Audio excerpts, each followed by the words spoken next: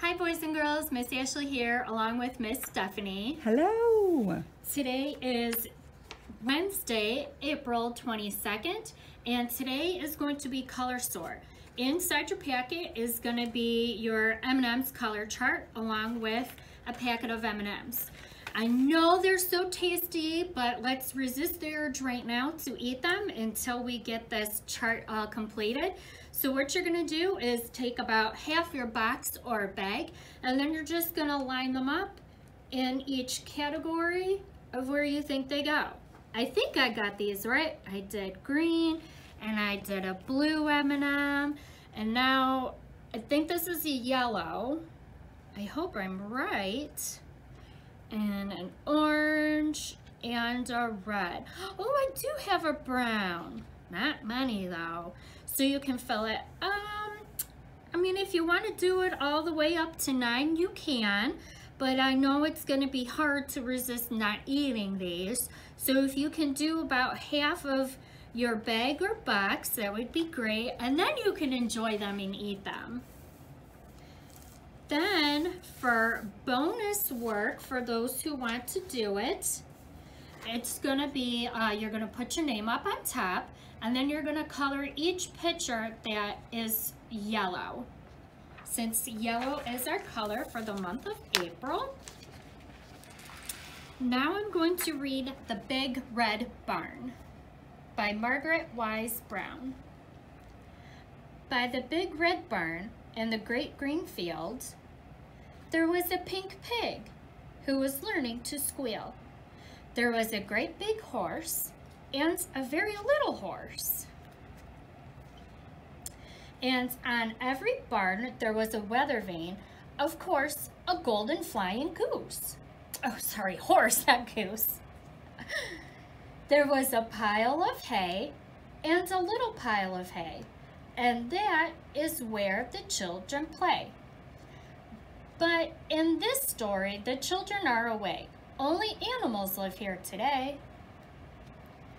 The sheep and the donkeys, there's the donkeys, and the geese and the goats were making funny noises down in their throats.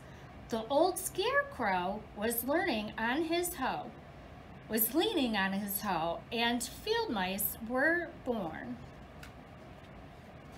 In a field of corn, there's the little mice. Cock-a-doodle-doo! In the barn, there was a rooster and a pigeon too, and a big white hen standing on one leg, and under the hen was quite an egg. There was a bat, a bat and rooster, and a little roost and a little hen with a big cluck of eggs. Count them. There are ten. Cock-a-doodle-doo, moo, moo. There was a big brown cow and a little brown cow. There was an old black cat, meow, meow, and a tiger tomcat. There's that cat, there's a black cat.